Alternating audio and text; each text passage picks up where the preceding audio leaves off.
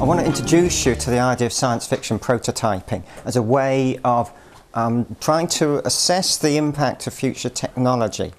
Now, science fiction prototyping is um, really the brainchild of a guy called Brian Johnson. And Brian Johnson is responsible in Intel for looking at future projects, products, for looking at how they assess products. And he's come to the idea of one way of looking and getting a feel for how technology might work in the future, for exploring an idea, is to write science fiction stories around it and express it as a science fiction story. In terms of sort of history and background, science fiction up to the 50s was, with a few exceptions, um, perhaps very much sort of fantasy. It was not necessarily aligned to science fact. If we go back to people like Mary Shelley and Frankenstein, and you look at the Frankenstein story, the theme of that really is about um, exploring philosophical ideas. And there's almost nothing in the book to tell you how on earth um, Frankenstein puts together his monster. There's no um, interest really in, this, in any science or technology.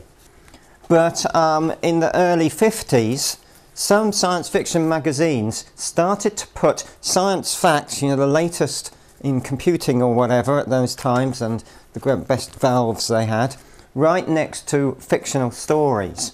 And a guy called um, Asimov, Isaac Asimov, was asked by his editor, can you come up with something that actually takes fiction and um, embeds it in some potential logic, some potential science fact? And he came up with his robot stories and with um, the three laws of robots, which of robotics, uh, which are fairly, um, really more still of a um, vehicle for developing fiction. But what he was doing was trying to take some science fact and put it in a story.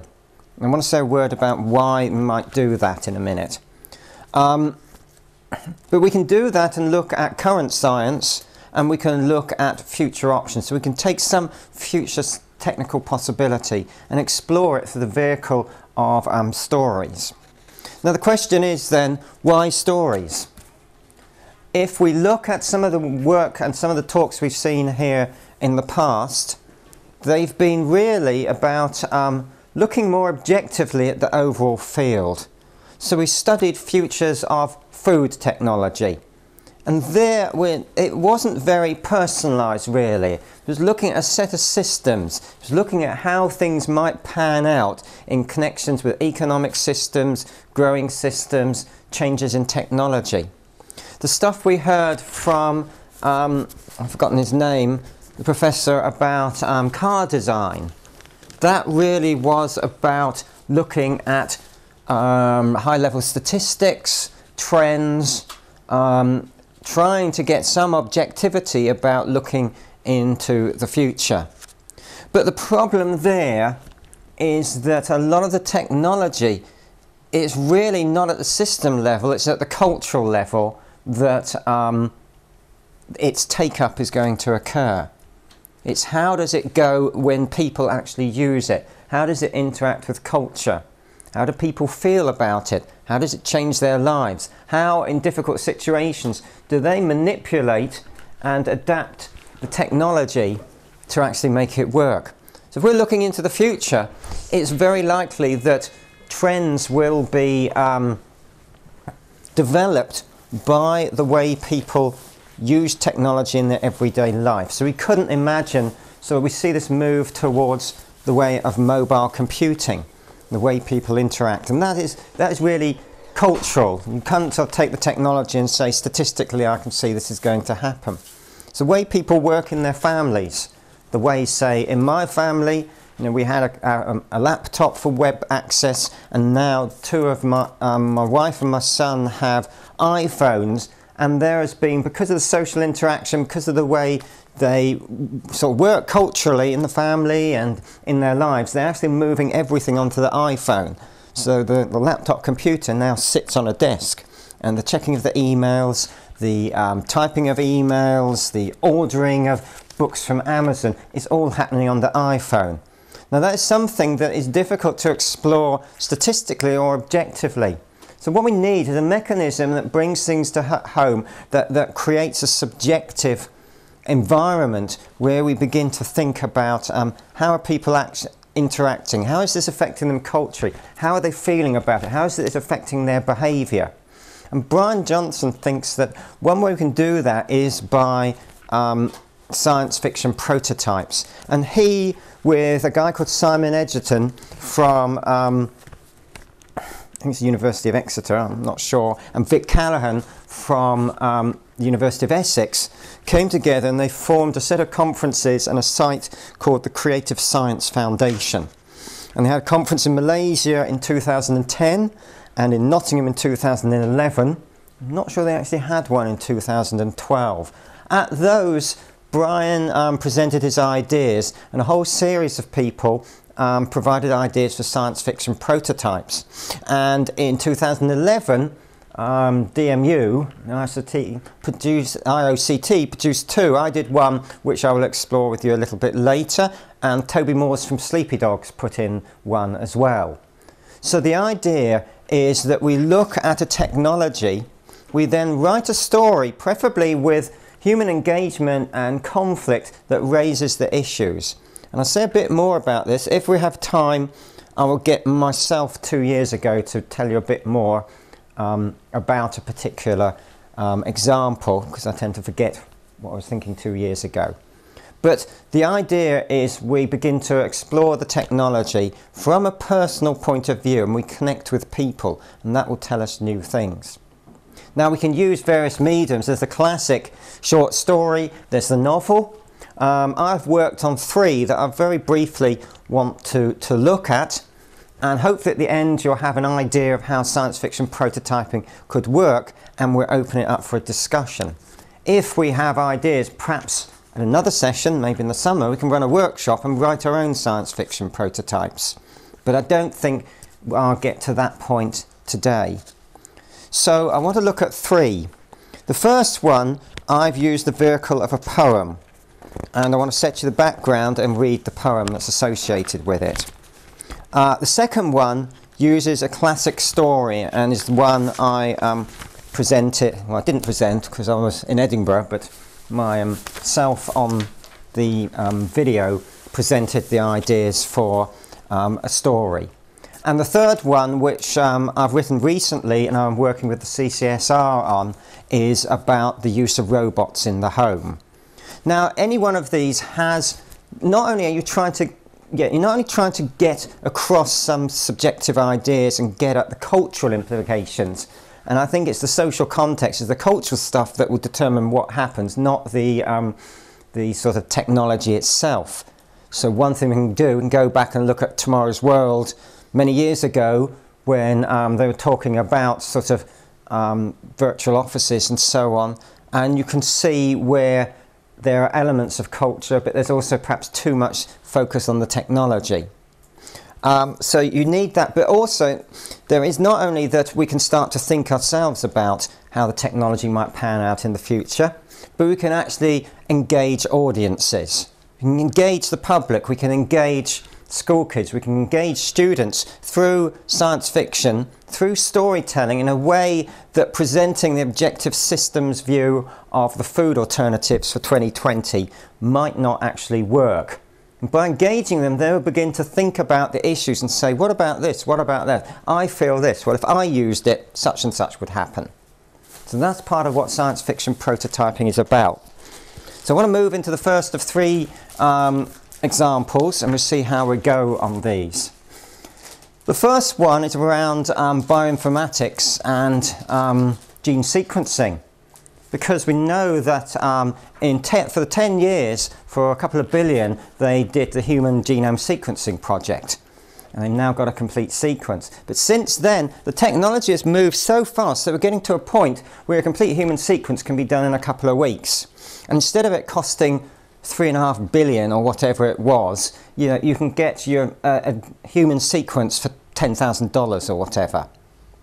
Now, the thing, there's two things about this. We can envisage a future in which having your DNA sequenced is part of um, your life ritual. It may be expected that at some point uh, we will get a sequence from you. Um, but there's some issues to consider because the idea that you, you just get your gene sequence and it is some, you know, it's objectively there and it will tell you immediately whether you're going to get certain diseases is actually really uh, not um, a fully acceptable idea because if you look at how genes work, there's at least four dimensions. Firstly, there's the actual DNA sequence itself, GGCC, AAT or whatever, that actually codes the codes some proteins, but there's only 23,000 of those. And if you look at something called the ENCODE project, um, last year showed that a large amount of the genome has um, control sequences, short control sequences, in what used to be called repetitive DNA and junk DNA, but now there's very little of that, and over 400,000 control sequences, a lot of which are translated into, I mean, are transcribed into RNAs, but never become proteins, are actually running things. So you have, firstly, you have the sequence, and that is complex enough. You then have the folding of the sequence into chromosomes. You then have the um, producing within sort of systems networks of the actual proteins you then have the, and the folding of those proteins. But that's not all because there's a time dimension. The type of things that are expressed and the way they're expressed moves over through development and it also changes dramatically in various ways when your body is stressed by various things. So it is not a straightforward, here's your sequence, you know, that is like the value in your bank account or whatever. And there is an issue of interpretation too. What does it mean? Who's going to decide what it means? There's one other thing you need to know. Um, it's not even straightforward. If we go back to the sequencing, the way we sequence is basically called shotgun. So what you do is actually you take your um, DNA, you chop it up, and you do loads of sequences of about 300 base pairs. There's various ways. You can sequence a little bit more, a couple of thousand. But if the sequencing that you're coming out of the physical sequencing machine gets longer, then the accuracy goes down. So you know you can say accurately that 300 base pair that I've sequenced, that's what it means. When it's 1200, mm, there may be errors in it. But the problem is then we've got this mass of um, 300 base sequences and we've got to put together how many you know, millions and millions of base pairs to create the human genome. And the way that's done is through computing and through programs that look for homologies and begin to sequence, connect those all up. But the problem is that that is not, so there's not one approach. It depends, the accuracy you get and the variations and the way you do it depends on the algorithms that you use. So they can be different. And there's something called an assemblathon, where people with various different computer programs compete to see who can get nearest to a bacterial sequence or whatever. So there's this variation. The point is that at so many levels there's going to be an interpretation. So if my insurance company says you can't have insurance because you've got gene X, that is an interpretation. Is the sequence right from the sequencer? How was it assembled? Um, does that assembly within the, all the control systems mean that actually will be expressed? Possibly not. But we may find in years to come that we're expected to get our genome sequenced. Now that's the objective stuff. That's the science. We need to put it into a framework of somebody trying to do this. Now imagine the father, imagine that when you're 15, you're expected to get your genes sequenced for um, various government purposes and insurance and health insurance. And then, as in any market, there would be loads of companies saying, We'll do it for you. How do you decide which one? And this, let's have a bit more light, is um, the father talking about the experience when he had to try and select um, a company to do the gene sequence for his son.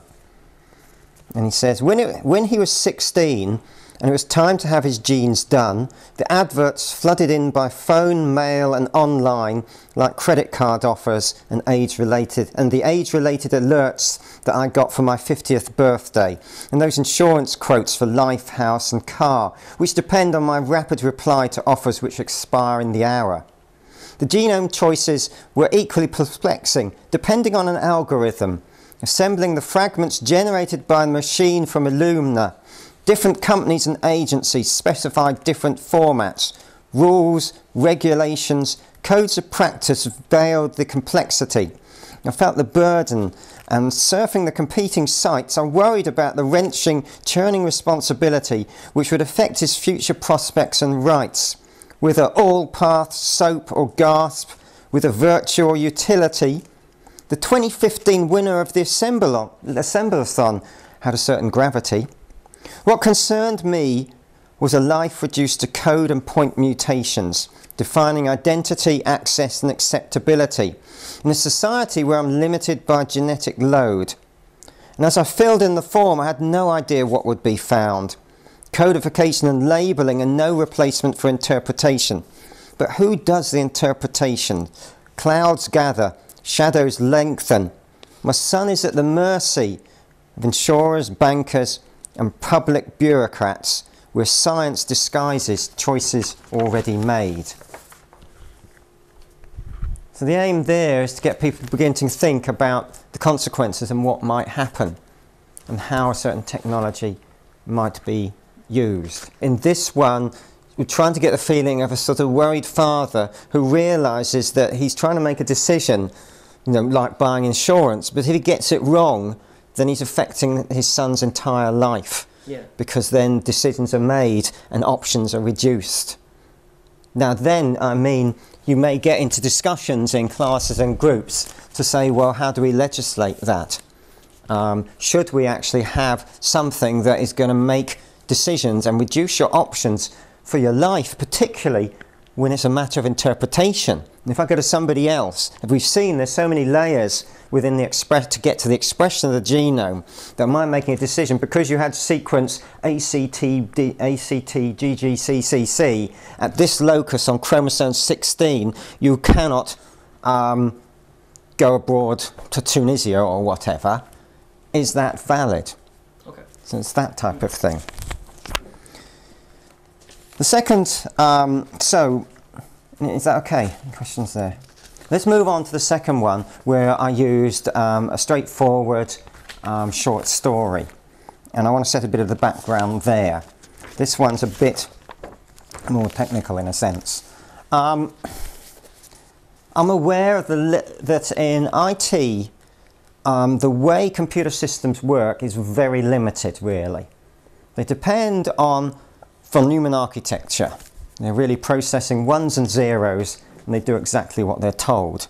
There therefore is no flexibility and they're very brittle. And the thing is, when we get this illusion of um, intelligence in a system, it's not that there's actually any real intelligence there in a sense. It's that um, the instructions that the programmer have put in, where um, that program's defined all the options, can be run so fast, you know, billions of instructions a second, or maybe trillions, that it looks as if it's intelligent.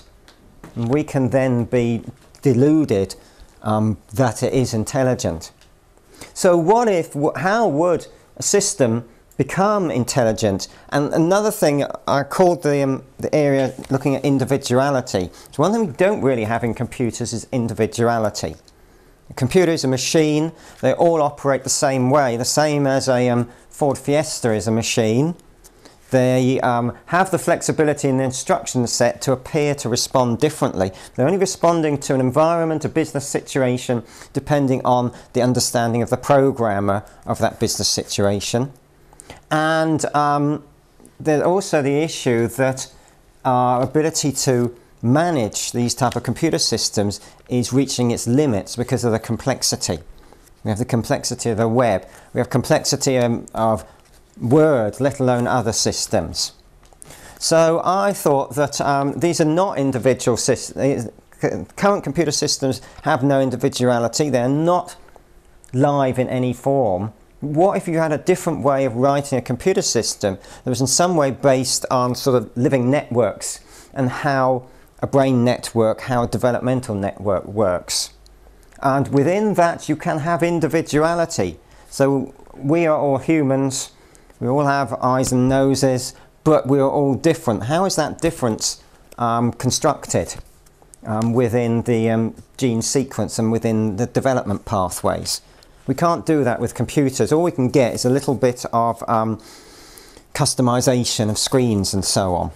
So the idea behind a story called Meltdown was that in a hospital, the um, com hospital computer systems become so complex they start to break down and switch off because you're reaching the limit of the machine metaphor that's um, there in the hospitals.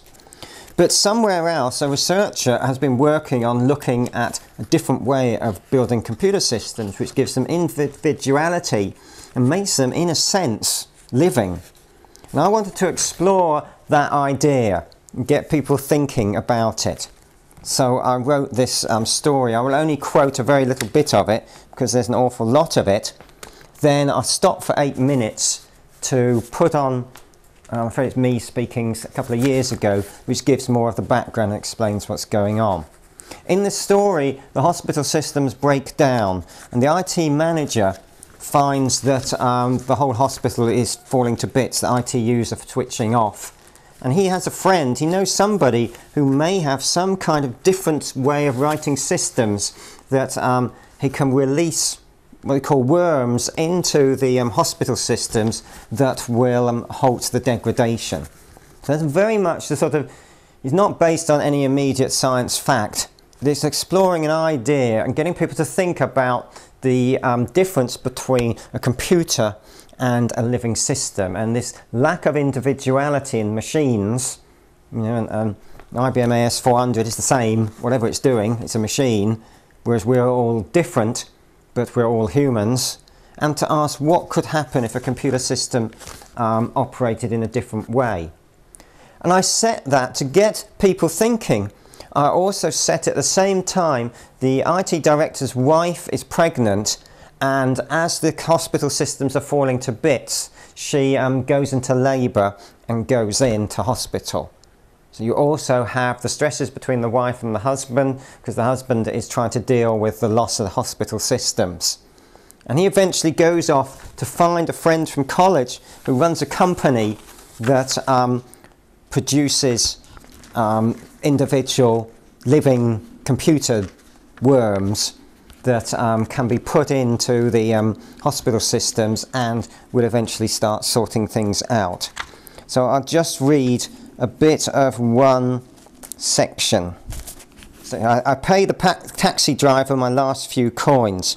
It was worth that to hear about his, that's the taxi driver's life. A divorce and remarriage in quick succession, addiction to golf. And the state of the taxi business sounded almost chaotic as our patient information system. Peter answers the door, tall and thin, a thoughtful giant. I've known him since university. If he's surprised to see me, he doesn't show it. Peter, I need your help. I need some of your programs. Information meltdown, he questions. More of a statement than a fact from more of a statement of fact from Peter than a question. It was only a matter of time. We've lost most systems, no phones, no ITU. I have to open the offices.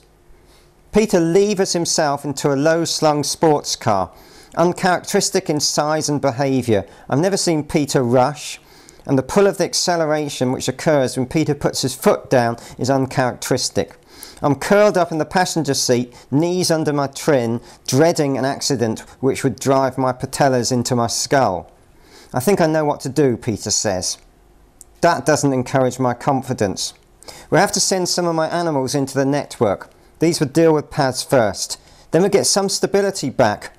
My mobile rings. The CRO, CEO is beside himself. Where are you? Raj says you've disappeared. I'm working on a solution. Be back in an hour. You must stay on the premises. You have your duty. I send a message back and the connection goes dead. Forgot to close the network. I hope the meltdown doesn't spread through the mobile network. Difficult to tell, Peter says. Everything's mobile nowadays. We stop in front of a tall, glass-fronted building the offices of individuality. I haven't been in your office before. Now's your chance to find out more. The lobby has a relaxed atmosphere. Large screen shows a forest scene. I can feel the breeze. I look twice. Small creatures are moving about between the trees. Their gaudy colours contrast with the pastel greens. But the creatures are active. They root through the undergrowth. They sidle up to the front of the screen and seem to look at me. We use my office, Peter says. I've got an environment there. The offices of individuality are a hive of activity. The display I saw in the lobby is reproduced everywhere. Large screens, some extending from floor to ceiling, show exotic environments, deserts, oceans, reflective cityscapes. And they're all populated by creatures moving, probing. I didn't realise computer graphics was your main business. We don't do computer graphics, that's old computing. We hire a company to make things look nice. We're interested in the living entities and environments. That's our work. This is the world of new computing. Peter sits down in front of a massive screen that dwarfs even his stretched frame. Old computing is about machines. Artificial intelligence is just that artificial. However clever a robot looks, it's just running through a series of logic instructions and doing what it's told. That's why it's a machine. Old computing creates the illusion of intelligence. Old computing just churns over calculations. Old computing is brittle. It can't adapt. If something goes wrong with one machine, it goes wrong with a lot because they're just programmed. So what's special about new computing?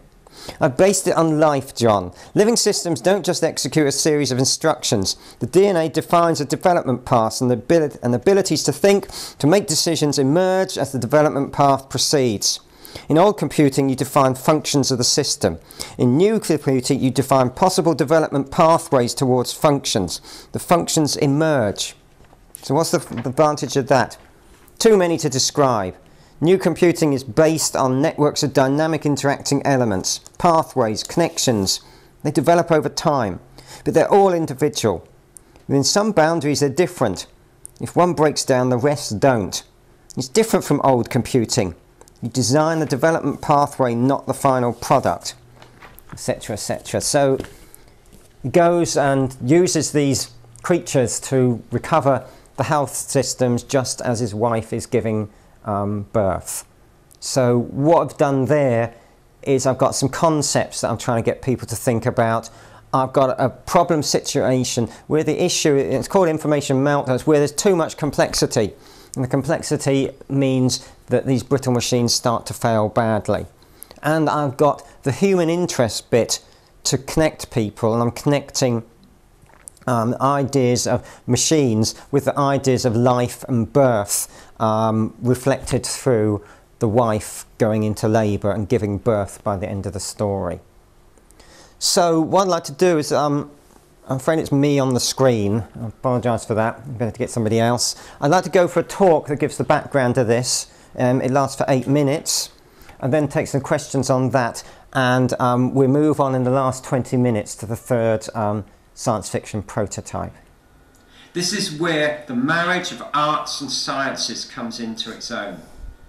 We computer scientists need permission to imagine, to express in poetry, art, plays, stories, to come up with the unconstrained what ifs. Because it is in the proliferation of ideas that the way ahead lies. And science fiction prototyping provides the fitting room for trying on the garments of the future. Um, and I like the idea of it, um, science fiction prototyping as a fitting room. You take some future technology and you get people to try it on, and through the story, you explore what might happen. Any comments on that before I spend the last 15 minutes looking at um, the third prototype? That's a really interesting thought. Maybe it's my pessimism coming across. I think you've got a very interesting point that um, when you're writing the, the stuff, you have a certain view of what might happen. I think that, um, I mean, if we look at the two we've done, there is a certain negativism about the first one, about the issues with getting your genome sequence, yes. And I think we have to face up to A, with any technology, there'd be difficult areas and there'd be things that would go wrong. And we're all um, not perfect, wonderful people. They will be misused, and we have to face that. But I think also, you're quite right, we need to use science fiction prototyping also to explore the good possibilities and how people's lives have changed. And I apologise for that, because I think it is a bit negative. And I'm very sorry, the third one is about about as negative as you can get. That's a great point, and that leads me on to the third one, which is about an area called responsible um, research and innovation that um, Bernd Stahl is working on. So the idea is in EU research and EPSR research, how do we be responsible about the way we use um, technology and looking forward?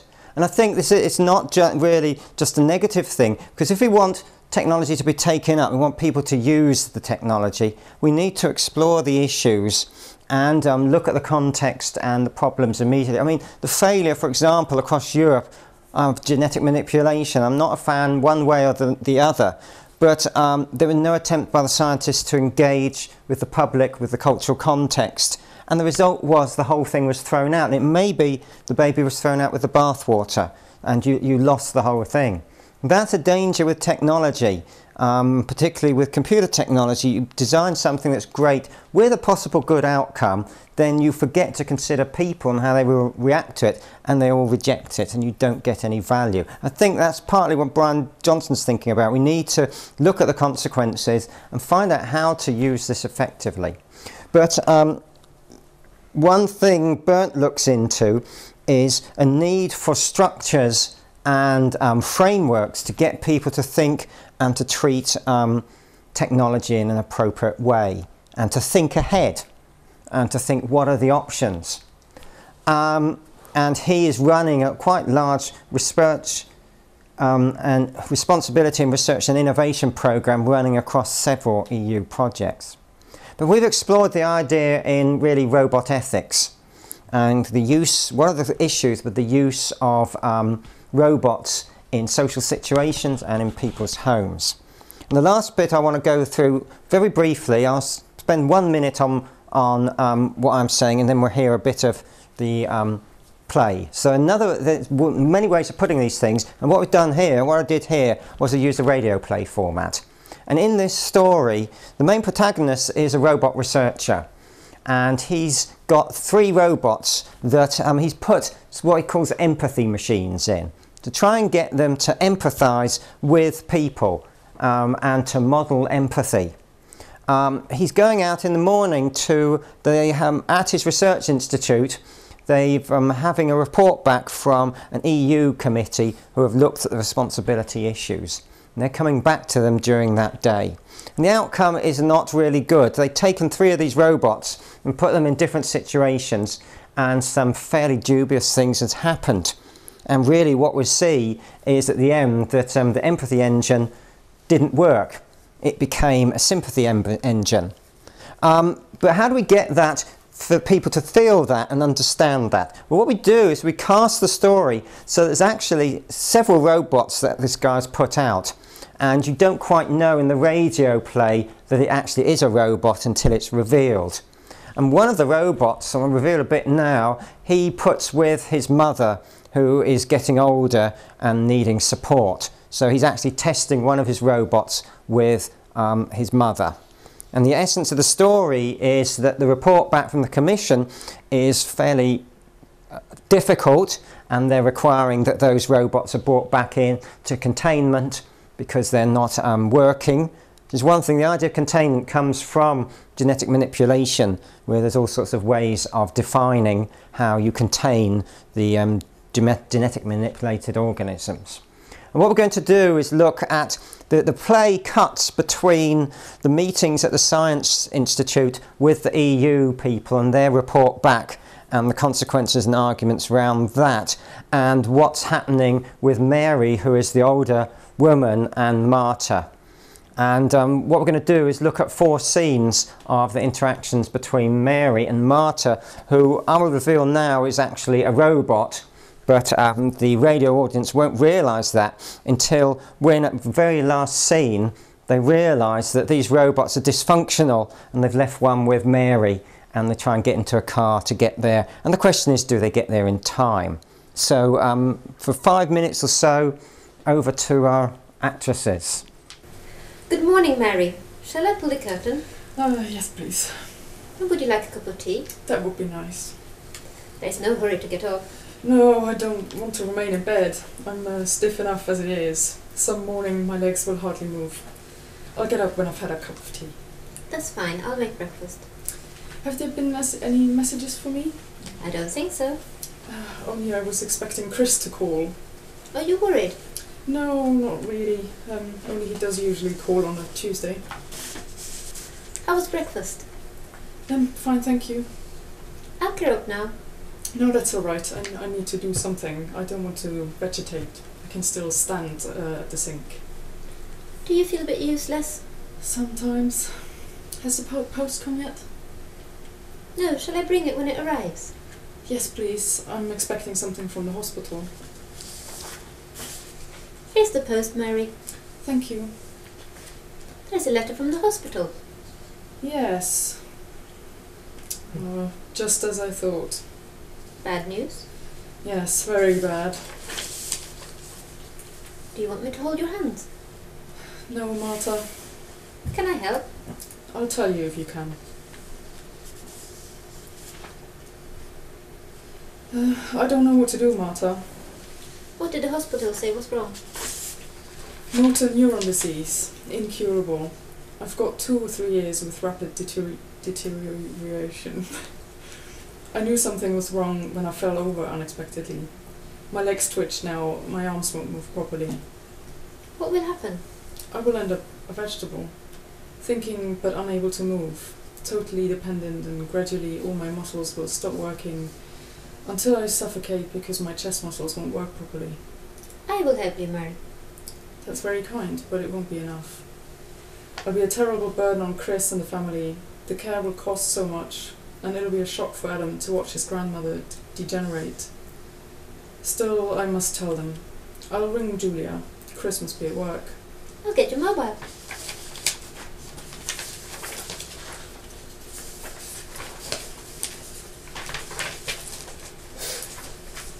Um, have you brought the pills and water, Marta?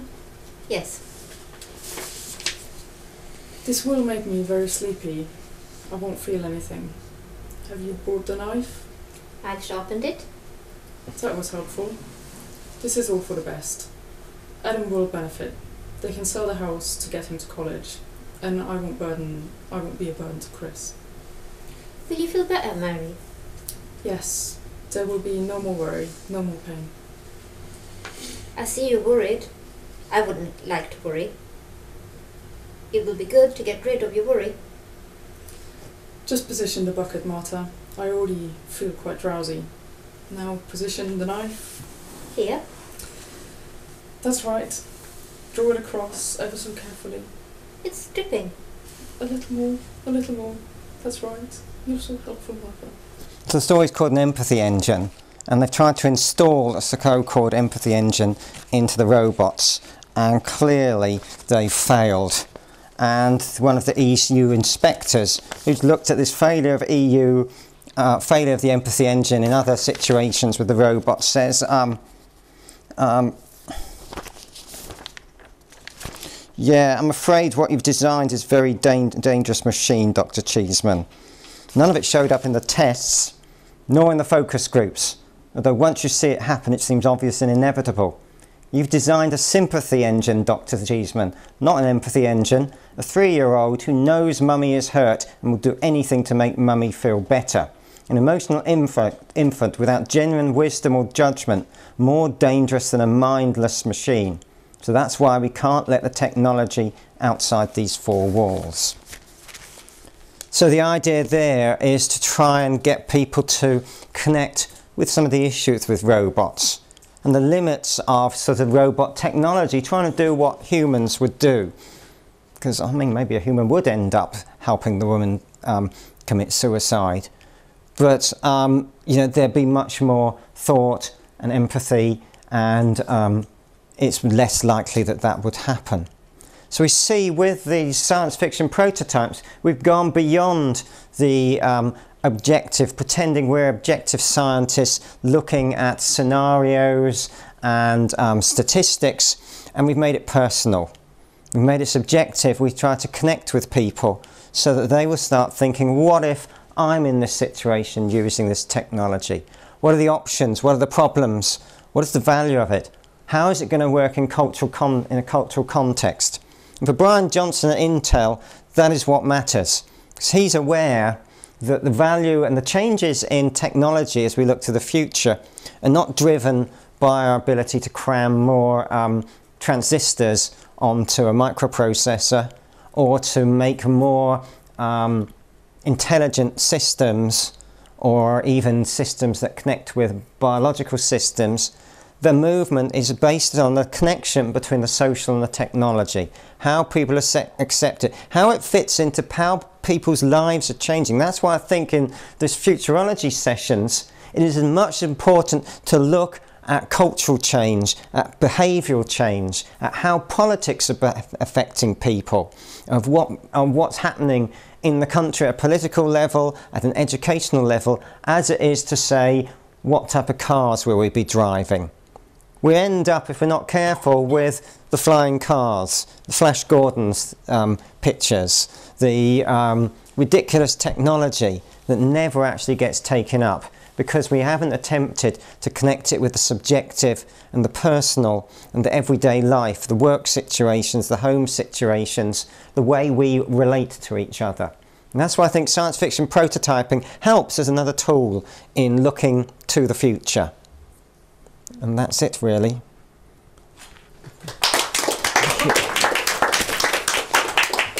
So we've got a minute or so for questions, I guess. Or I think we sort of came to. I'm sorry.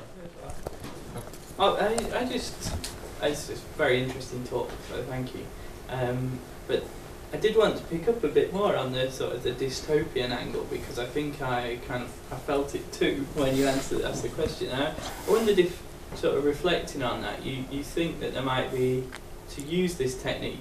You think there's an implicit kind of predicate that we're works the, the people developing the technologies have some kind of hubris or a kind of technocratic utopia that oh it'll be all alright go for it kind of it'll be okay and this is kind of as a acting as a counter or a critique to that I think I've found amongst engineers um, in some situations that there is that sort of never mind the situation we're interested in the technology so in one example in Belfast, they invented technology that can process images very fast. Mm-hmm. So you can put a box, say you've got a, a, road of houses, you can put a box at the front of the road and it's so fast with parallel process, it process every image and detect pornography going up the houses and stuff like that.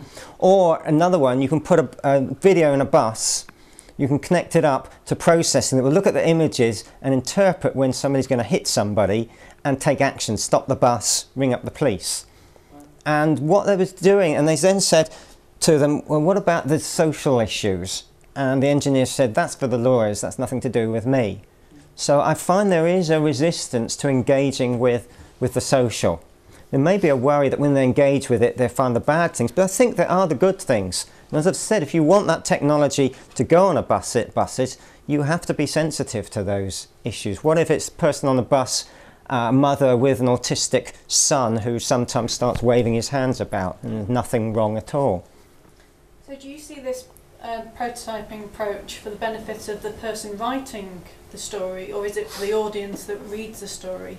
Because in that sense it's actually the engineer would benefit from sitting down and thinking through all the possibilities of the social mm. construct. But I know a lot of the, uh, within your talk you were talking much more about the the benefit to the wider audience about mm-hmm. prompting thought processes, where it strikes to me it's actually more an internal process to actually think out the bugs within the technology or potential mm-hmm. impl- cultural implications. Which do you see? Well, I think it's both. The bias, I guess, because of where I come from in computer science, and Brian Johnson, so he's paid by Intel to do this, is that we're trying to get the engineers to look socially and say what's going on.